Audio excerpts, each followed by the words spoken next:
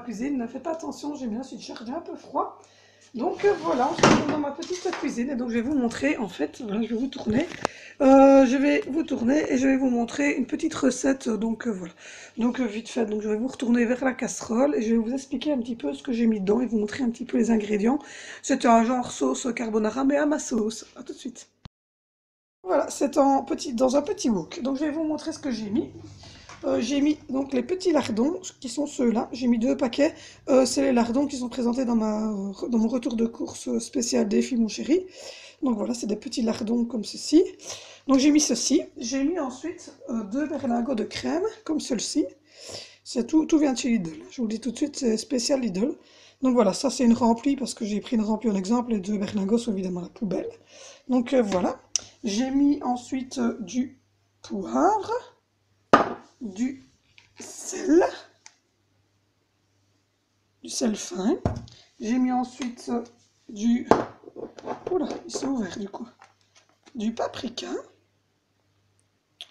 Donc euh, voilà. C'est celui-ci, le paprika doux. Je ne vous ai pas précisé, mais c'est du doux. Donc euh, voilà, j'ai mis ceci. Des épices à spaghetti de chez Lidl.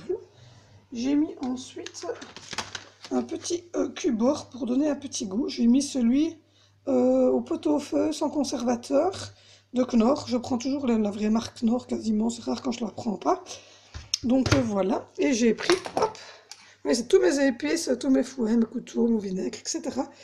Donc j'ai beaucoup d'épices, donc j'ai pris, hop, la fourchette est toujours dedans parce que je viens de l'utiliser. Voilà, j'ai pris la moutarde de Dijon. Donc je vous reprends, ça bouillonne, ça bouillonne. Donc je vous ai mis ici à côté les ingrédients que j'ai déjà mis dedans. Donc voilà, je vous les présente encore une fois euh, plus clairement. Donc euh, voilà.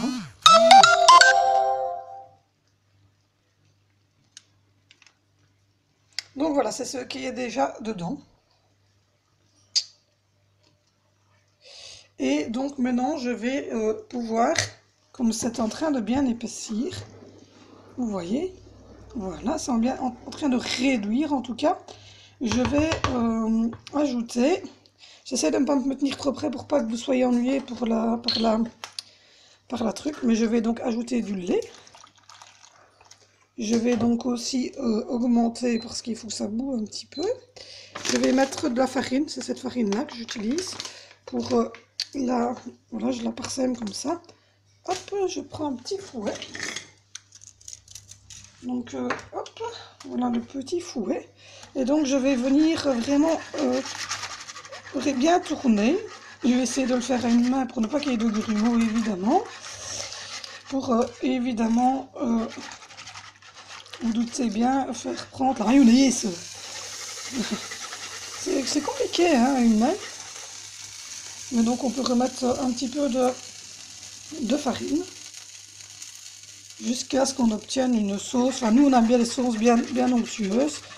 Donc, euh, du coup, voilà. Donc, euh, je vais faire monter euh, tout ça et je vais vous reprendre quelques minutes. Donc, voilà, je vous reprends. Donc, j'ai bien tourné dedans et comme vous le voyez, elle bulte encore, elle bulte un petit peu, mais elle est déjà d'une bonne, d'une bonne consistance. Donc, voilà. On nappe déjà bien euh, ma cuillère. Donc euh, voilà, voilà, voilà. Je vais encore tourner un petit peu. Voilà, mais vous voyez déjà que le fouet est en train de faire et que la sauce est bien, bien prise. Donc je vais pouvoir couper le gaz, enfin couper la vitre céramique. Donc je répète euh, les ingrédients que j'ai donc mis dans cette sauce.